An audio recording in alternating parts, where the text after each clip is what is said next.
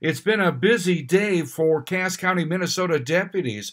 On this uh, Tuesday morning, we had a report of a woman assaulted uh, by a man with a hammer. She reports her boyfriend has assaulted her with a hammer. Um, she's requesting an ambulance. She did make it over to the neighbor's house, so she's safe for now. And then later, radio traffic indicated a male suspect in this case may have been tased after refusing to drop a knife. Uh, this happened in the area of Federal Dam. More details if and when formal charges are filed. I'm Neil Carlson reporting for iNewZ.TV.